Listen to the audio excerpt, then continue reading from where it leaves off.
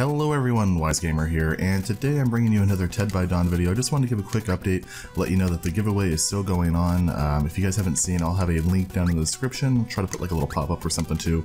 Um, but yeah, I did a giveaway video though for Ted by Dawn, and I just want to let you guys know that, uh, you know, that's still going on. You guys can still enter to win a um, copy of the game, and I still suck at this game, god. but yeah, you guys can go and win. So I was just asking if you uh, could subscribe and then you know leave a little comment on what one of your favorite indie games were, or you know what one of your favorite parts of uh, Ted by Dawn was, just from what you've seen so far and things like that. So that being said, you know you guys should definitely check it out. Really fun game. I know I'm I'm pretty terrible at it. I uh, I really should probably practice a little bit more. I never really was good at games like Super Meat Boy or anything like that. Um, so I guess that's probably why I'm pretty terrible at it.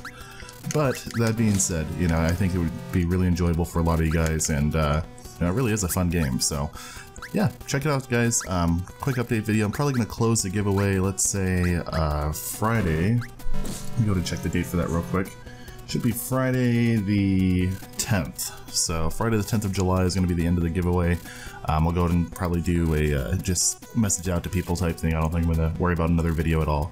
But just wanted to make a quick one here just to let you guys know that's still going on. Check out the giveaway on my channel. And, uh, you know, definitely check out the indie preview of Ted by Dawn as well. Alright guys, talk to you later. Thanks for checking it out and hope you guys have a good one. Bye-bye.